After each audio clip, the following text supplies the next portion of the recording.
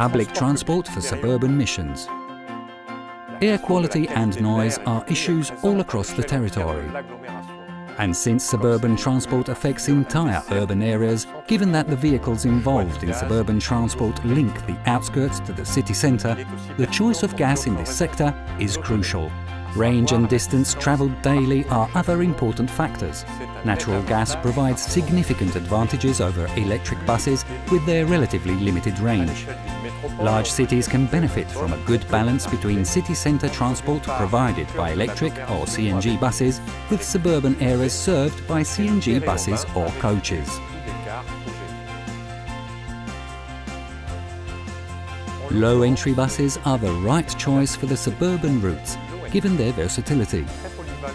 They have the greater seating capacity needed on longer routes, while the low floor section makes for faster passenger flows and easier access for commuters with reduced mobility.